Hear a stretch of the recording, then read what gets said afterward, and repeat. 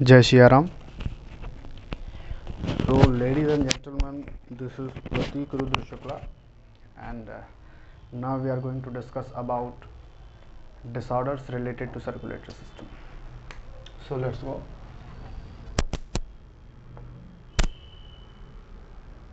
disorders related to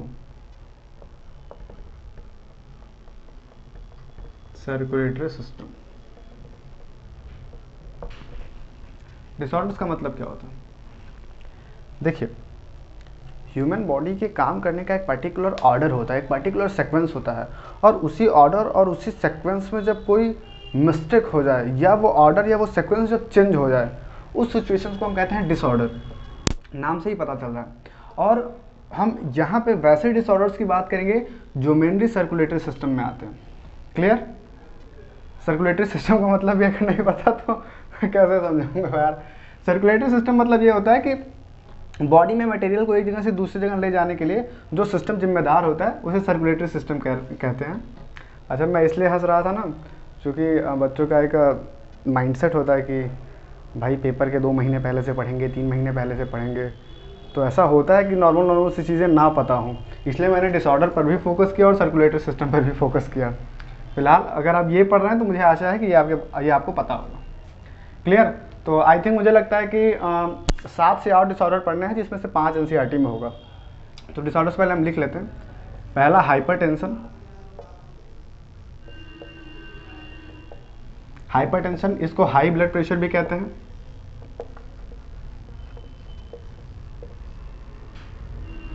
इसको एक और नाम से जानते हैं, जिसको हम कहते हैं साइलेंट किलर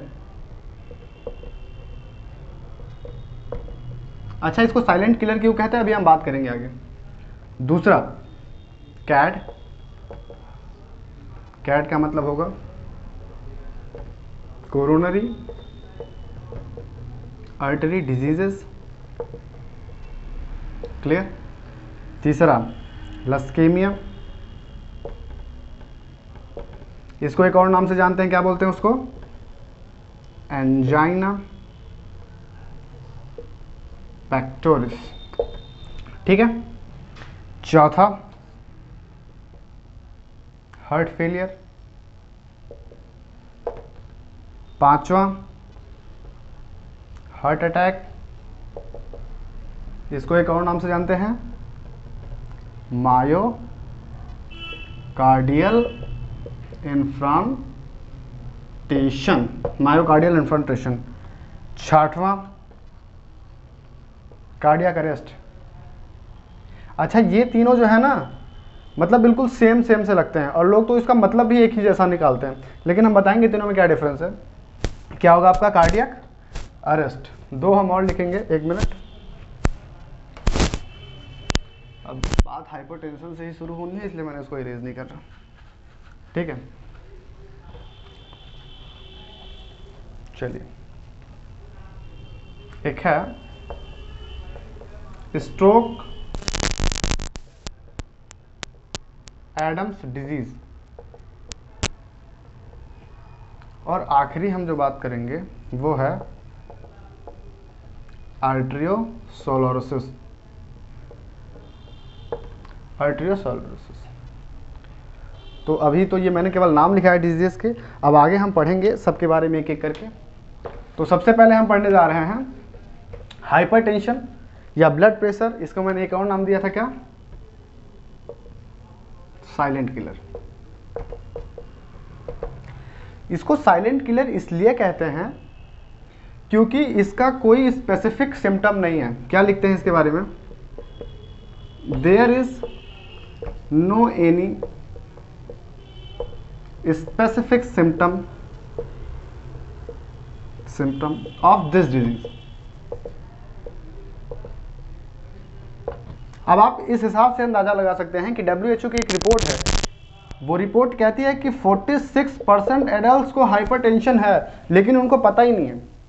और ये हाइपरटेंशन कितना, नाम से लग रहा है ना, आसान है, बहुत खतरनाक है। अभी हम इसके बारे में समझेंगे।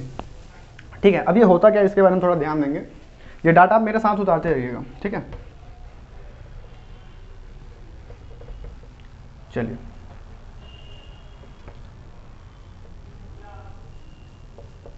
ये साइन मतलब इंक्रीज का है, ये साइन मतलब डिक्रीज का है। तो increase in blood pressure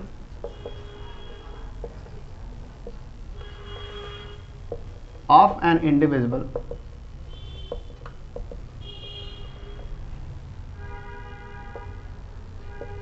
more than its normal blood pressure को मैंने बीपी लिख दिया है। और नॉर्मल क्या है? दैट इज़ 120 80 120 सिस्टोलिक है 80 डायस्टोलिक है.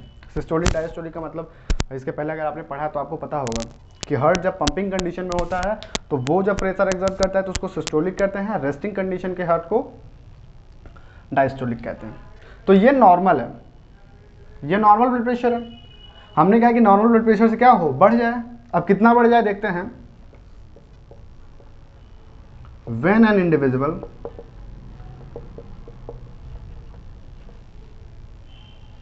repeatedly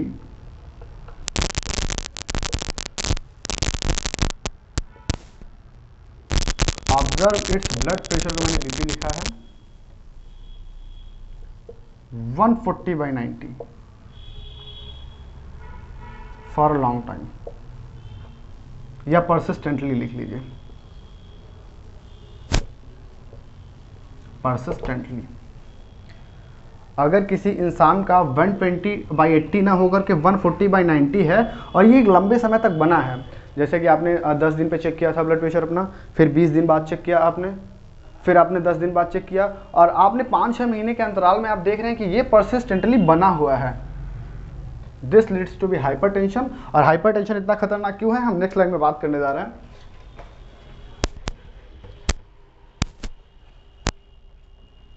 And this hypertension leads to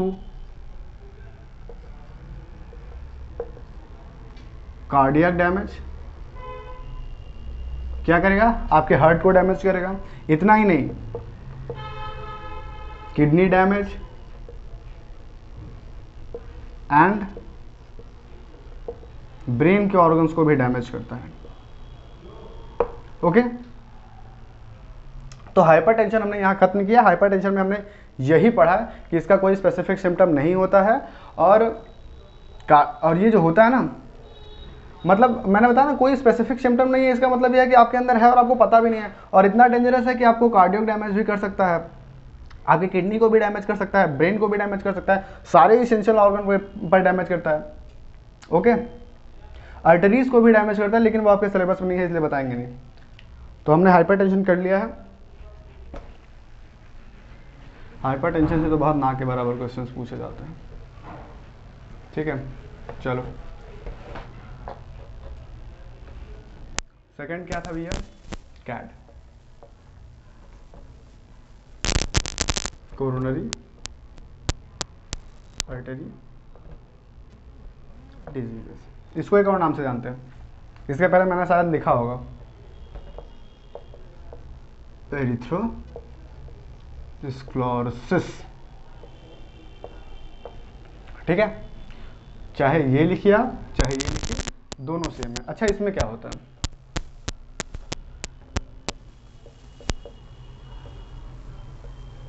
Narrowing of lumen of coronary arteries due to deposition of या तो कैल्शियम आयन हो सी ए टू प्लस लिखा है मैंने, या तो फिर फाइब्रस नेटवर्क हो, और सबसे इंपॉर्टेंट चीज़ मैंने लिखी नहीं, या तो फिर फैट हो, और या फिर सबसे इंपॉर्टेंट कोलेस्ट्रॉल हो। कोलेस्ट्रॉल इन सब के कोरोनरी अर्टरी के डिपोजिशन होने के कारण कैड हो जाता है कोरोनरी अर्टरी डिज़ीज़ हो जाती है। चलिए, अब इसका एक प्रोसीजर होता है स्टैंडर्ड प्रोसीजर वो हम देखते हैं, इसको आप लिख लीजिएगा। देखिए। Excess intake of fat body in diet अच्छा इससे क्या होगा? ये कॉज करेगा हाइपर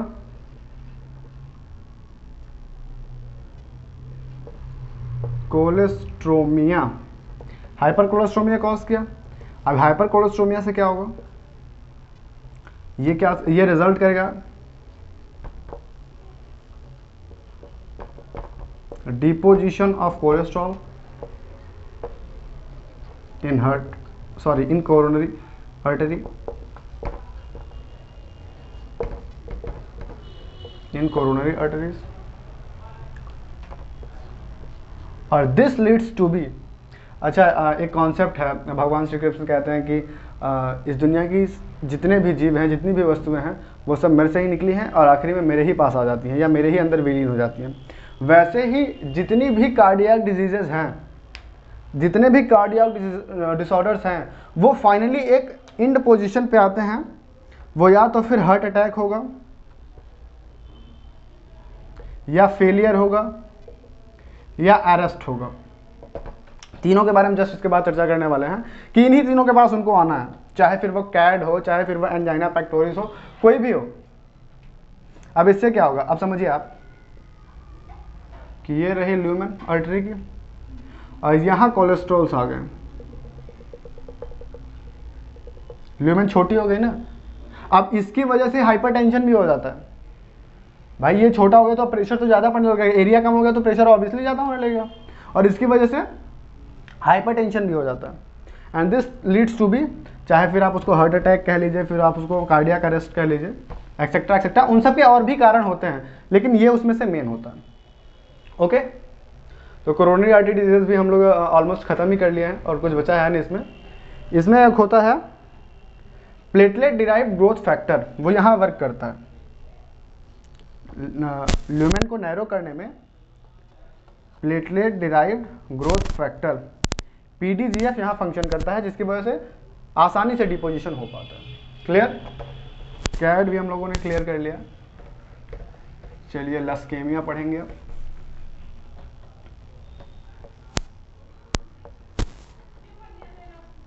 चलिए, इसको एक और नाम से जानते हैं, हमने आपको पहले ही बता दिया है। क्या है? एंजाइना पैक्टोरिस चलिए। कुछ खास इसमें नहीं करना होता।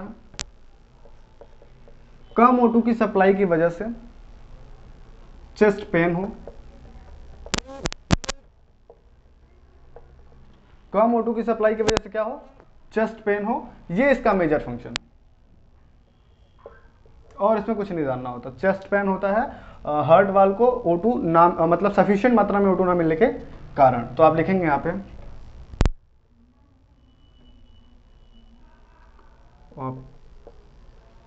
Piercing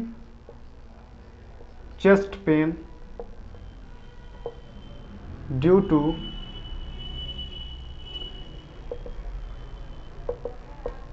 deficiency of O2 अब जो कैट पढ़ा था ना, इसके कारण भी हो सकता है। जो, ये जो हो रहा है, इसका कारण कैड भी हो सकता है। एक्चुअली मैं ये कहना चाहता था। ओके तो और कुछ लस्केमिया के बारे में आपको नहीं जानना है। एंजाइना पैक्टोरिस इतना काफ़ी है। अच्छा ये किसके ऊपर निर्भर करता है, जानते हैं? जितने फैक्टर्स ब्लड फ्लो में आते हैं ओ टू मेन है। Now, we are going to study about heart failure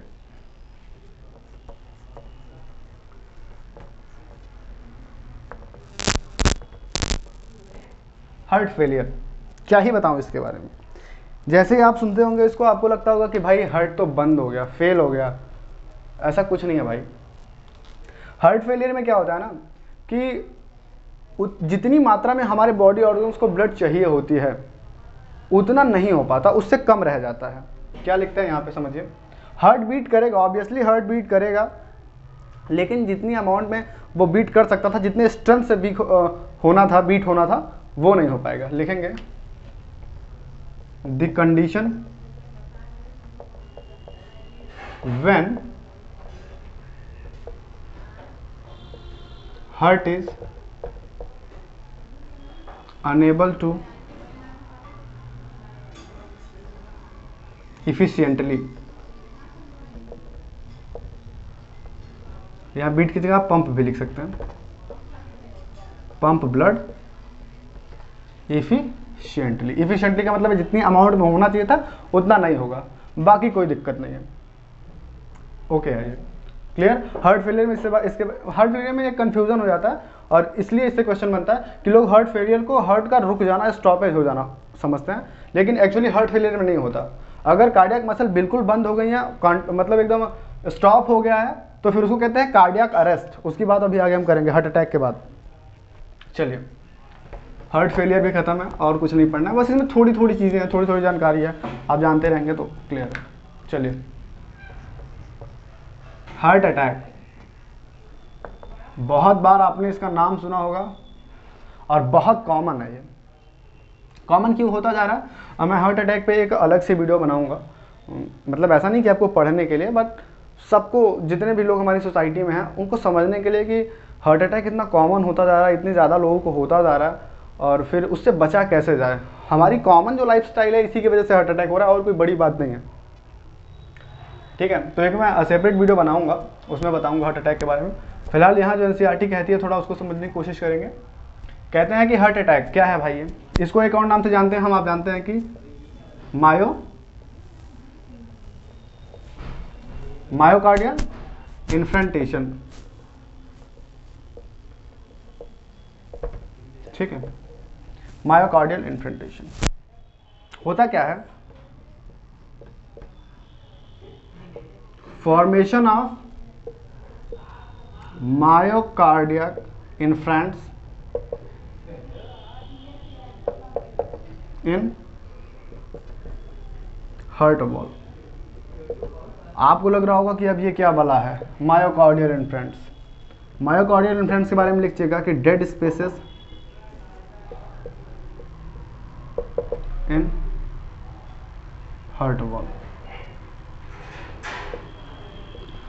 heart की वॉल में डेड स्पेसिस का बन जाना ही मायोकार्डियल इन्फ्रेंस कहते हैं और मायोकार्डियल इन्फ्रेंस का बन जाना मायोकार्डियल इन्फ्रेंटेशन कहते हैं।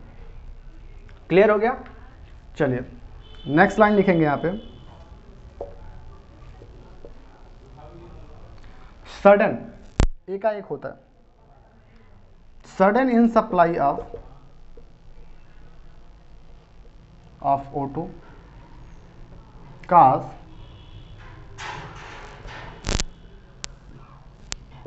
damaging of cardiac muscle fibre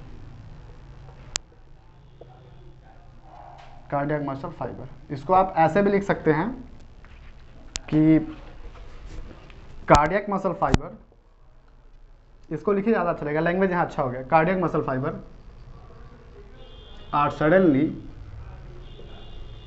damaged by damaged by insufficient O2 ये क्यों हो रहा है? कैड आपने पढ़ा था। कोरिलेट कर लीजिएगा, इतना आपको आसानी समझ में आ जाएगा। क्लियर हार्ट अटैक भी हमने ऑलमोस्ट खत्म कर लिया है। मेन कारण ये है कि मायोकार्डियल इन्फ्रेंटेशन का जनरेट हो जाना और क्यों होता है? क्योंकि सडनली O2 मिलना बंद हो जाता है। और वो एक सडन प्रोसेस नहीं होता, एक लंबा प्रोसेस होता है, लेकिन ऑन दैट स्पॉट वो एक सडन प्रोसेस हो गया। चलिए अब कार्डिया अरेस्ट की बात करेंगे।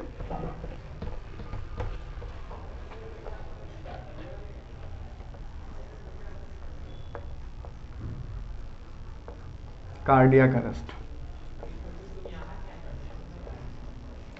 complete stoppage of heart complete dysfunctioning of heart completely stopping of heart cardiac arrest है. होता क्या है कि ज़्यादा समय तक हर्ट को ऑक्सीजन न मिलने के कारण यहाँ ढेर सारे मायोकार्डियल इन्फेंट्स का फॉर्मेशन हो जाएगा. That's why heart completely block heart आगे कोई काम नहीं कर पाएगा। कार्डियक अरेस्ट और कार्डियक फेलियर में यही डिफरेंस है। वहाँ हार्ट बीट करेगा, लेकिन इफिशियंटली नहीं करेगा। लेकिन यहाँ बिल्कुल स्टॉप हो जाएगा। और कुछ नहीं जानना है। है तो बहुत लंबा टॉपिक है, बहुत बड़ा टॉपिक है, लेकिन यहाँ कुछ नहीं जानना है। आई थिंक हमने छः कर ली है ना। दो बच रही हैं। एक स्ट्रोक एडम डिज़ीज़ चलिए इसको भी देख लें। स्टोक एडम्स डिज़ीज़ बड़ा अजीब नाम है इसका ना। कोई दिक्कत नहीं है, पढ़ लीजिएगा। स्ट्रोक एडम डिज़ीज़ की अगर हम बात करें, इसमें क्या होता है?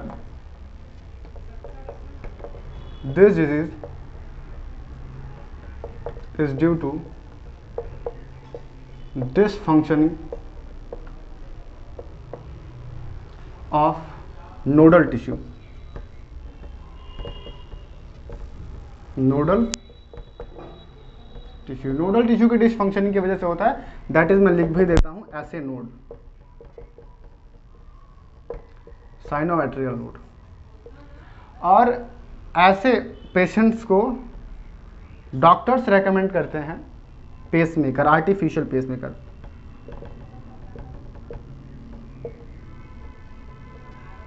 artificial pacemaker अब पेसमेकर करता क्या है? जो ऐसे नोड काम करता था, वही पेसमेकर भी करेगा, ये भी इंपल्स जनरेट करेगा पर्टिकुलर इंटरवल्स पे। Clear pacemaker upper thorax region में लगता है। अपर थोरेक्स रीजन में लगता है। और उसकी जो लीड्स होती हैं, वो कनेक्ट कराई जाती हैं कहा? वेंट्रिकुलर वॉल्व वॉल्व्स में। वॉल्व नहीं वॉल्व्स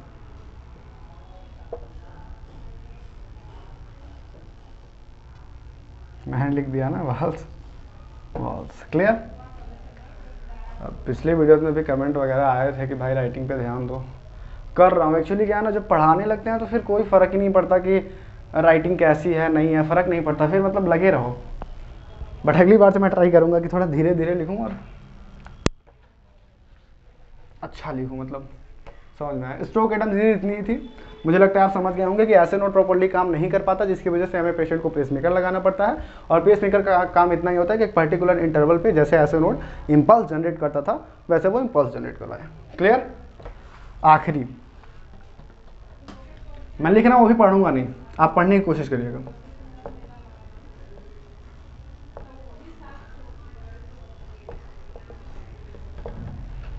कैड का नाम लग रहा है क्या? बिल्कुल नहीं। ये लिखा है आर्ट्रियोसालोरोसिस। ये क्या होता है? सबसे पहले लिखेंगे ना, age related disorder. Age related disorder. अब होता कैसे है? जरा इस पे ध्यान दें।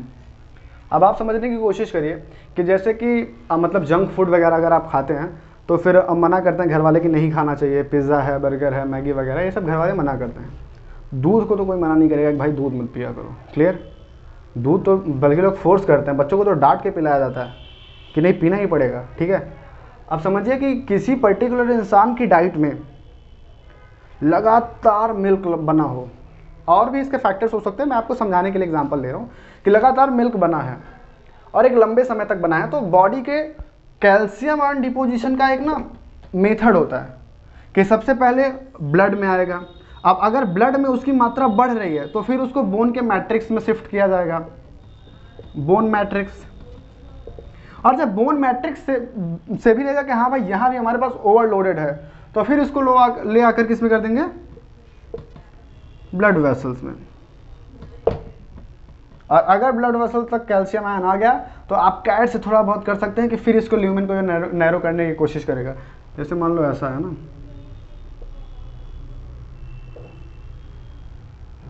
तो अब जहाँ डिपॉजिट हुआ ट्यूनिका मीडिया में तो ये अब ऐसे हो जाएगा।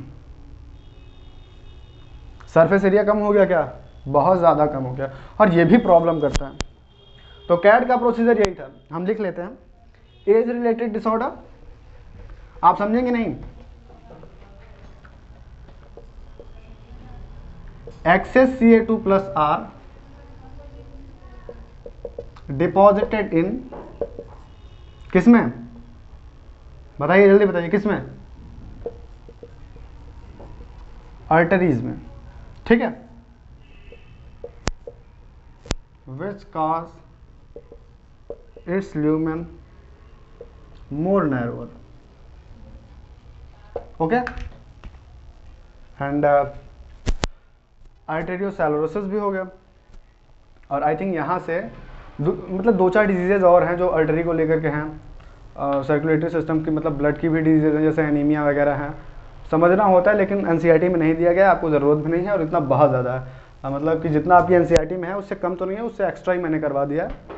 और uh, इस टॉपिक से अगर नीट में क्वेश्चन बन रहा है तो आई डोंट थिंक यहाँ के ऊपर से क्वेश्चन आए। अगर आपने इतना पढ़ा तो everything is okay okay next video में हम बा, बात करेंगे कार्डियक साइकिल का। ओके सो पढ़ते रहिए स्वस्थ रहिए मस्त रहिए। जय श्री राम। Thank you